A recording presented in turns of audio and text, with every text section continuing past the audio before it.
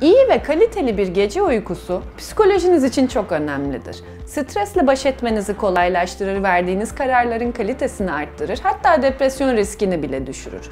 Bu nedenle gece uykunuzu biraz daha kaliteli bir hale getirmek için evde neler yapabileceğinize bakalım. Her gün aşağı yukarı aynı saatlerde uyup uyumaya özen gösterin ve bunun için bir uyku rutini oluşturun. Her gece aynı saatte duşa girip istediğiniz bir kitaptan yarım saat okuma yapıp daha sonrasında yatağa girebilirsiniz.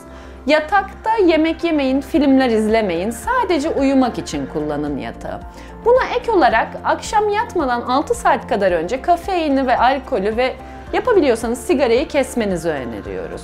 Bunları yaptığınız zaman hafif hafif değişimler olmaya başladığını görebilirsiniz.